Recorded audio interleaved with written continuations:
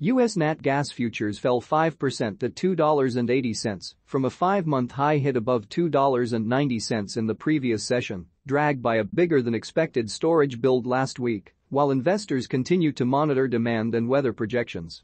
Today's EIA weekly storage report printed a build of plus 29 billion cubic feet, slightly bearish than market expectations of plus 25 billion, but bullish versus the five-year average of plus 46 billion cubic feet.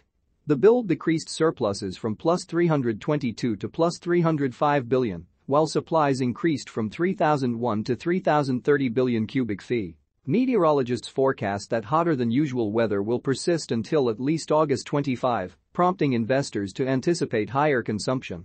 Meanwhile, gas flow to U.S. LNG export plants has been falling so far in August due to reduced output at several facilities, bolstering domestic gas availability.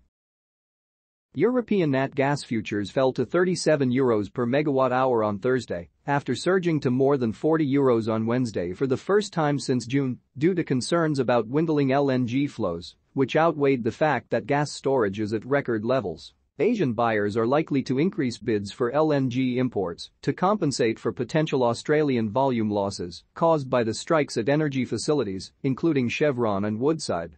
In addition, U.S. exports of LNG are currently more profitable to Asia in September, October and November, and there might be less LNG available this month. However, in Europe, fuel reserves are more than 87% full, the highest ever for this time of year. The European Union wants them to be 90% full by November, and many countries, like Spain and the Netherlands, have already met or exceeded this goal. Germany and Italy are almost there. France is at 78% because they had problems with energy supplies during strikes earlier this year. Bullish trends are anticipated in the short term. With sustained high demand, potential storage increases, and global energy market shifts, the U.S. natural gas market is poised for significant activity.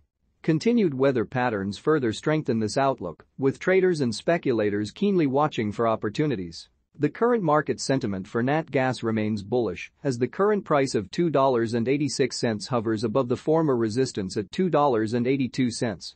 A failure to hold $2.82 will restrain some of the upside momentum, but the uptrend will remain intact unless pivot at the $2.75 fails as support. Regardless, short-term dips should continue to be a buying opportunity, and I do think that eventually, cold weather will drive this market higher.